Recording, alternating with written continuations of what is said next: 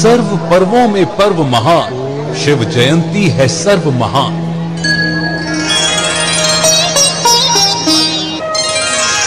शिव आपदा हरण, करुणा कृपा करण, मन आशुतोष शिव का कर सर्वदा स्मरण प्यारे भाइयों और बहनों एक बार फिर शिव जयंती की आप सभी प्रभु प्रिय संतानों को कोटि कोटि बधाई